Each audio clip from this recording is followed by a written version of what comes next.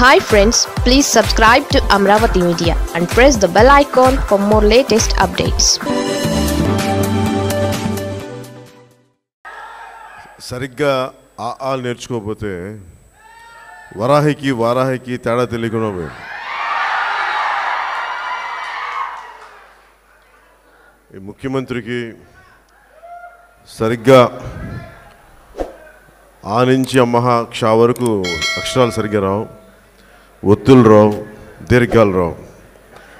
అందుకని జనసేన వయోజన సంచార పాఠశాల పథకం కింద ఈ ముఖ్యమంత్రికి నేనే అసలు దీర్ఘం ఏంటి ఏంటి ఆ అంటే ఏంటి మొత్తం నేర్పిద్దాం భవిష్యత్తులో.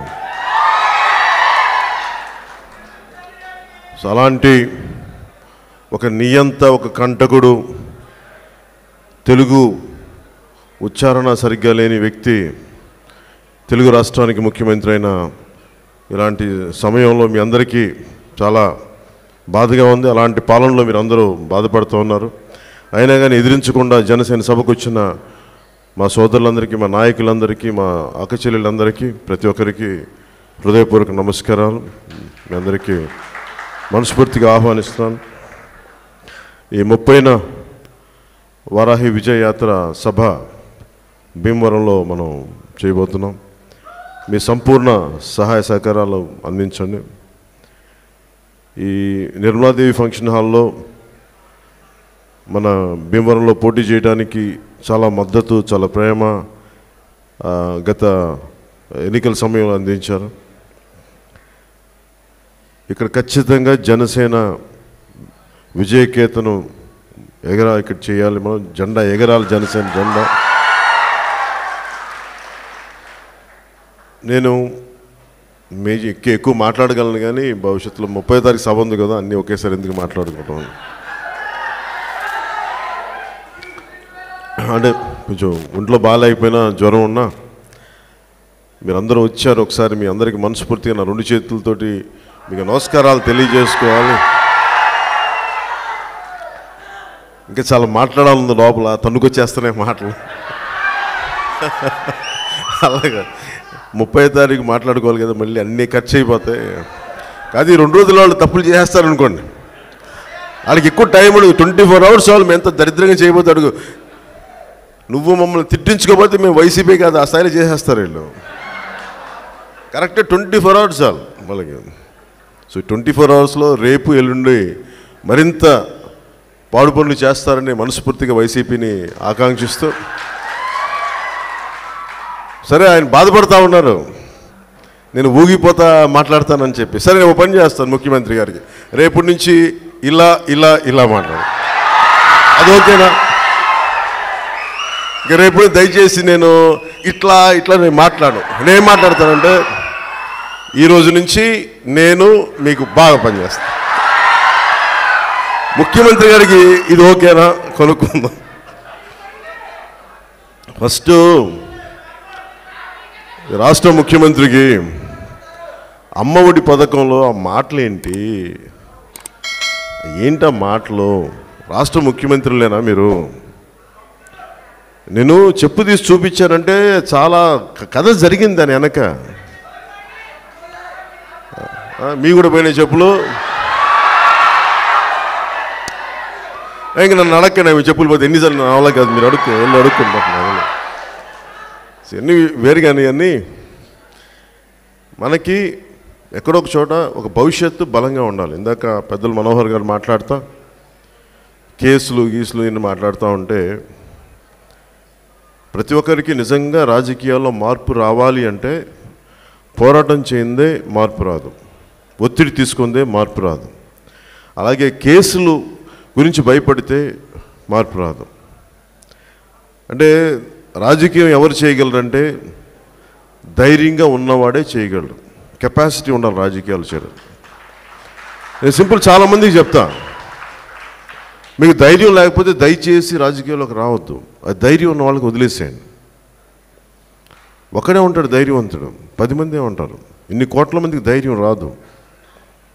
జనసేనకి ఇంతమంది యువత బలం ఉందంటే ఆడపడుచులు బలం ఉంది నాయకులు బలం ఉందంటే అంత ధైర్యంగా నిలబడున్నారు మీరు. నిజంగా అమ్మా నిజంగా. అంటే మనం భయపడే కొద్దీ భయపెట్టేస్తారు. మనకి ఏముంటుంది? వీళ్ళందరూ ముఖ్యమంత్రి స్థాయి భయపెట్టేస్తాడు. పోలీస్ అధికారులు ఉంటారు రెవెన్యూ అధికారులు ఉంటారు. ఓ చిన్నపాటి కంప్లైంట్ తీసుకోవాలంటే ఎమ్మెల్యే గారిని ఎమ్మెల్యేకి దీనికింటే సంబంధం? ఆ మాకు మాకు పెన్షన్ రావట్లేదంటే ఎమ్మెల్యే గారు సంతకం తీయించుకుని దీనికే మిమ్మల్ని ఎన్నుకుంది? ఎమ్మెల్యే ఆవిడ గుత్తాధిపత్యం ఏంటి? నాకు ఏ ఎమ్మెల్యే మీద వ్యక్తిగతంగా కోపాలు ఉండవు ముఖ్యమంత్రి మీద వ్యక్తిగతంగా కోపాలు ఉండవు కానీ ఒక కస్తూరిబా పాఠశాల అంటే మహాత్మా గాంధీ లాంటి గొప్ప మహనీయుడు ఆయన సతీమణిగా ఉండి కస్తూరిబా గాంధీ ఆవిడ అలాంటి మహానుభావుడికి అండగా ఉన్నందుకు ఒక కాలేజ్ పేరు పెట్టారు ఆవిడకి. మీ నాన్నగారు మీ అమ్మగారు కాలేజీలు పెట్టుకోవాలంటే సొంతంగా మీ డబ్బులన్నీ పెట్టుకొని మీరే చేసి ఎప్పటి నుంచో ఉన్న గౌరవార్థం వారి గౌరవార్థం ఉన్న కస్తూరిబా కళాశాల పేరు తీసేసి పెట్టు మీ తల్లిదండ్రుల పేర్లు పెట్టుకొని సంతోషంగా పెట్టుకోండి. కానీ ఇలా కాదు. ఇవన్నీ అడిగేవాడు ఎవడు లేడు. ఇప్పుడు డిఎన్ఆర్ కాలేజ్ కానీ అది దంతులూరు కుటుంబీకులు కానీ గన్నాబత్తుల కుటుంబీకులు కానీ వారి సొంత ఆస్తులు ఇచ్చేశారు. ఉన్న ఆస్తులు ఎవడు లాక్కోలే. అది వాళ్ళ గొప్పతనం. సో మనం మనం తిరిగి అలాంటి ఇచ్చే గుణం పె- పెంపొందించ పెంపొందించాలి సమాజంలో. నా ప్రయత్నం అది. అంటే నేను భయపడే కొద్దీ మనం భయపెట్టేస్తారు సమాజం. నేను ఒక ఒక్క మా మన మన పార్టీ మీటింగ్ కాబట్టి నేను మనస్ఫూర్తిగా చెప్తున్నాను. నేను చాలా తెగించి వచ్చాను. మేబీ జీన్స్ వేసుకున్నాను కదా టీ షర్ట్ వేసుకున్నాను కదా అని వాళ్ళు అనుకుంటే సంబంధం లేదు. అది నేను అంటే ఏదో బట్టలు చాలా బట్టలు ఉంటాయి ఏదో బట్టలు ఏదో ఇలాంటి డ్రెస్ వేసుకుని వచ్చాను. అంటే నేను ఒకటి ఒకసారి అనిపిస్తుంటే రాజకీయ నాయకులు ఓన్లీ కత్తరేసుకుని హుందాగా అట్లా కూడా మామూలు ఇలా కూడా ఉండొచ్చు కదా. ఇలా ఉండి కూడా పోరాటం చేయొచ్చు కదా. కాదే అందంగా ఉంటుంది. ఒక తెల్ల బట్టలు వేసుకొని అది అందంగా ఉంటుంది కాబట్టి ఒక ఒక హుందాతనం ఉంటుంది కాబట్టి వేసుకుంటాం కానీ బట్టలు మనిషిని నిర్దేశించు